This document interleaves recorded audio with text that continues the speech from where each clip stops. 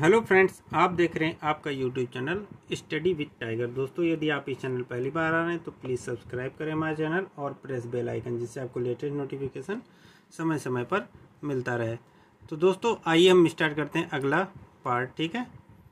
तो यहाँ पे हम, ठीक है फिफ्टी टू क्वेश्चन तक हो चुका था तो फिफ्टी थ्री क्वेश्चन पे आ गए हैं। तो फिफ्टी थ्री क्वेश्चन देखते हैं। बोल्ड बोल्ड परियोजना हाल ही में भारत के किस राज्य में शुरू की गई? राजस्थान, हरियाणा, बिहार, मध्य प्रदेश।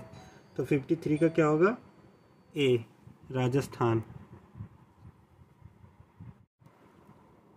तो आइए देखते हैं अगला प्रश्न। संयुक्त राष्ट्र की कोवैक्स योजना के अंतर्गत कोविड 19 की मुफ़्त वैक्सीन पाने वाला पहला देश कौन सा है? तो पहला देश कौन सा है? तो कोविड से रिलेटेड भी आपको क्वेश्चन थोड़ा बहुत पढ़ के जाना है, ठीक है? तो ये है आपका फिफ्टी फोर फिफ्टी फोर का है आपका, बताइए। तो यहाँ पे घाना है, ठीक है? तो मुफ़्त वैक्सीन पाने वाला पहला देश घाना। अंतरिक्ष में जाने वाले भारतीय मूल की दूसरी अमेरिकी महिला अंतरिक्ष यात्री कौन है? तो बताइए, दूसरी कौन सी हैं? तो ये है आपका शीर्षा बांदला ठीक है? इस पर आप लगा लीजिएगा, ठीक है? फिर उक्त, उस भारतीय पहलवान का नाम क्या है, जिस पर हाल ही में डोपिंग के दो साल का प्रतिबंध लगाया है? तो ये हो जाएगा आपका सुमित मलिक, ठीक है? ये सारे प्रश्न पिछली बार आए हुए प्रश्न है, ठीक है? आइए देखते हैं अगला प्रश्न। भारत का वह कौन सा प्रथम राज्य है जहाँ end to end e cabinet प्रणाली लागू की गई है? तो यहाँ हो जाएगा हिमाचल प्रदेश में, ठीक है?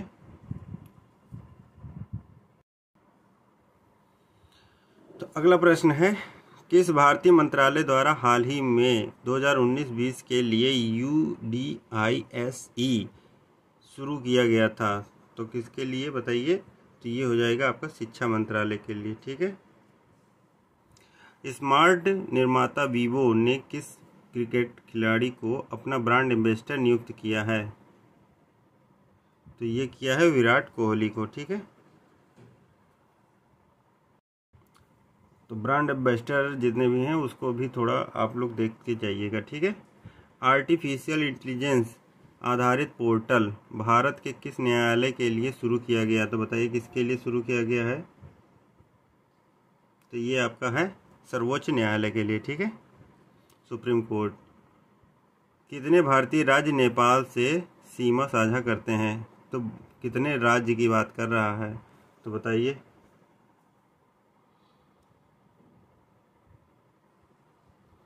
तो यहाँ पे होगा पाँच राज्य, ठीक है?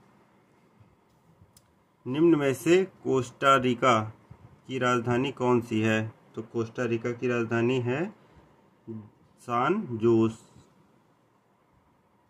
एक सेकेंड। हाँ तो क्या है इसकी राजधानी? सान जोस है, ठीक है?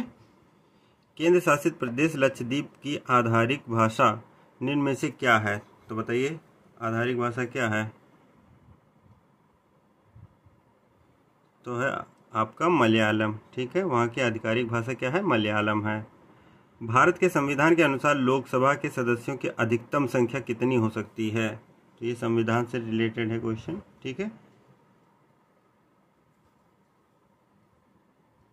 तो यहाँ पे होगी पाँच सौ बावन, ठीक है? इससे अधिक नहीं हो सकती है। अब बढ़ाना होगा तो फिर संशोधन किया जाएगा।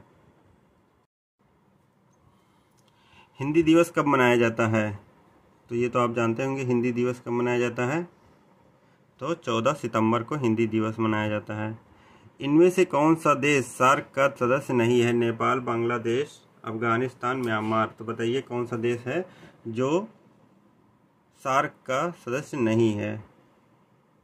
तो यहाँ पे म्यांमार नहीं है, ठीक है? बाकी सारे हैं। निम्न में से किस स्थान पर अजंता एलोरा की गुफाएँ स्थित हैं? तो यहाँ पे देखिए कौन से है। तो ये आप पढ़े होंगे अजंता की गुफाएँ जो है, एलोरा की गुफाएँ औरंगाबाद में है। ठीक है, कहाँ पे है? औरंगाबाद में।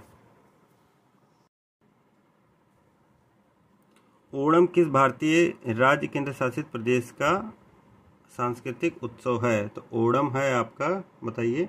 तो ओणम कहाँ का है? तो ओणम है केरल का, ठीक है।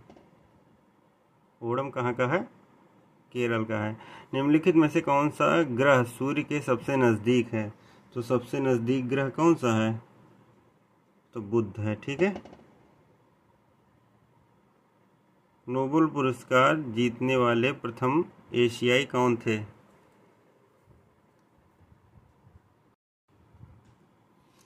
तो ये हो जाएगा आपका रविन्द्रनाथ टैगोर हो जाएगा, ठीक है? प्रथम एशियाई थे। नोबेल पुरस्कार विजेता। और ये इकहत्तर से पचहत्तर जो है, ये क्वेश्चन आपको सॉल्व करना है तो आपको इसको पहले पढ़ना पड़ेगा, ठीक है? तभी आप कर पाएँगे। तो गद्यांश के लिए मैं इसको तो ये गद्यांश है, आप इसको पूरा पढ़ लीजिएगा, ठीक है? मैं आंसर बता दे रहा हूँ, ये आप निकाल सकते हैं, ठीक है? तो यहाँ पे जो पहला क्वेश्चन है, ठीक है? गद्यांश को पढ़िएगा पहला क्वेश्चन आपको बगल में दिखने लगेगा, ठीक है? तो विश्व में शांति क्यों आवश्यक है? तो इसमें बताइए, विश्व में शांति क्यों आवश्यक है? तो यहाँ पे ऑप्शन जो होगा, आपका ऑप्शन ए होगा, मानव जाति के विकास के लिए। क्योंकि इसको आप पूरा पढ़ेंगे तो आपको समझ में आ जाएगा, ठीक है? नेक्स्ट क्वेश्चन है, विश्व शांति की अवस्थापना के लिए सबसे आवश्यक है। तो इसको आप पहले कर लीजिएगा, ठीक है? वीडियो को पॉज करके उसके बाद आप लगाइएगा, ठीक है? तो ये आपका सेवेंटी टू का बी हो जाएगा, अहिंसा और प्रेम। कठोर से कठोर हृदय को भी कोमल बनाया जा सकता है। तो ये सेवेंटी थ्री का आपका सी हो जाएगा, ठीक है? अहिंसा द्वारा। किसी भी राष्ट्र के स्वर्णिम युग के प्रमुख तत्व हैं। तो ये आपका हो जाएगा सुख, शांति और रचनात्मक कार्य, ठीक है? नितांत शब्द का उपयुक्त पर्याय है। तो नितांत शब्द का उपयुक्त पर्याय क्या है बताइए? तो ये हो जाएगा आपका नितांत मतलब बिल्कुल, ठीक है? तो ये आप पूरा, ठीक है सॉल्व कर लिए हैं, अगला देखते हैं। तो पहले आप इस पूरे पैराग्राफ को पढ़ लीजिए, ठीक है? उसके बाद क्वेश्चन सॉल्व करते हैं।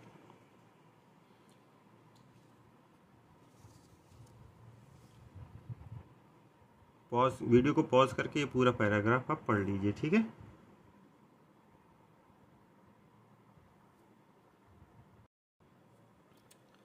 तो अगला प्रश्न है, विज्ञान मानव की सबसे बड़ी शक्ति इसलिए कही गई है क्योंकि इसके बल से मनुष्य, आगे बताइए कौन सा होगा, इसमें आपको, आप उसको पढ़े होंगे तो आपको पता चल गया होगा, ठीक है?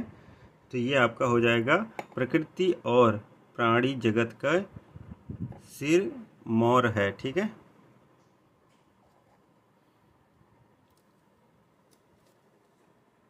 अब अगला प्रश्न है। वैज्ञानिक चिंतन पद्धति ने मनुष्य का सबसे बड़ा उपकार यह किया है कि उससे मुक्ति मिली है। उसे मुक्ति मिली है। अगला ऑप्शन देखते हैं। तो ऑप्शन है संतुलित अनुचिंतन से, पुरानी शिष्ट औपचारिकताओं से, भ्रमपूर्ण रूढ़िवादी विचारणाओं से, प्राचीन सांस्कृतिक परंपराओं से। तो बताइए कौन सा होगा? तो यहाँ पे जो होगा वो भ्रमपूर्ण रूढ़िवादी विचारणाओं से, ठीक है? विश्व के परिवारवत लगने का प्रमुख कारण है, बताइए। तो यातायात एवं संचार साधनों का विकास। ठीक है? हस्तामलक शब्द से अभिप्रेत है।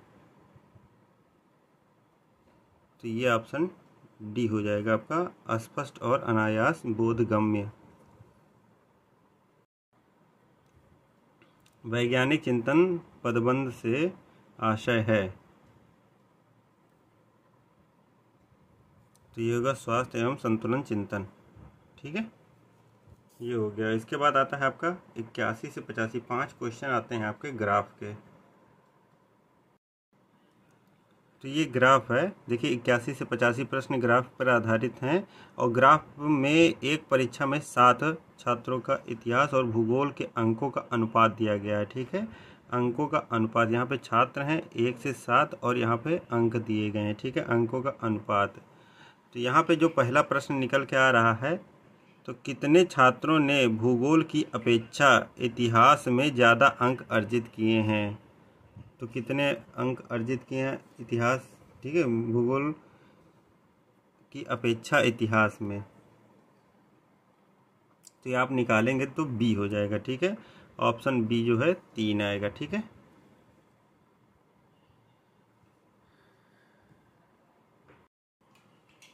अगला प्रश्न है, निम्न में से किन छात्रों को भूगोल की अपेक्षा इतिहास में कम अंक मिले? तो कितने छात्रों को मिले हैं? तो ये आप देखिएगा। तो इसका ऑप्शन होगा ऑप्शन बी होगा, ठीक है? एक, दो, तीन छ भूगोल में कक्षा तीन से चार के मध्य अंक की प्रतिशत बढ़त है। क्या है, बताइए? तो ये सब आप क्वेश्चन सॉल्व कर लीजिएगा, ठीक है? आगे मैं चैप्टर जब पढ़ाऊँगा तो उसमें बताऊँगा। तो ये आपका ऑप्शन बी हो जाएगा, ठीक है? ट्वेंटी इतिहास, भूगोल के अधिकतम अनुपात और न्यूनतम अनुपात का अंतर कितना है? तो अंतर निकालने के लिए तो ये आपका हो जाएगा option D one point two zero छात्र चार को भूगोल में साठ अंक मिले। इसके इतिहास के अंक कितने हैं? तो ये हो जाएगा आपका ऑप्शन सी सेवेंटी फाइव। तो आज के लिए बस इतना ही दोस्तों, यदि वीडियो अच्छा लगा हो तो प्लीज़ लाइक करिए, सब्सक्राइब करिए हमारा चैनल और प्रेस बेल आइकन जिससे आपको लेटेस्ट नोटिफिकेशन समय समय पर मिलता रहे। Thank you friends for watching my video Jai Hind, Jai Bharat.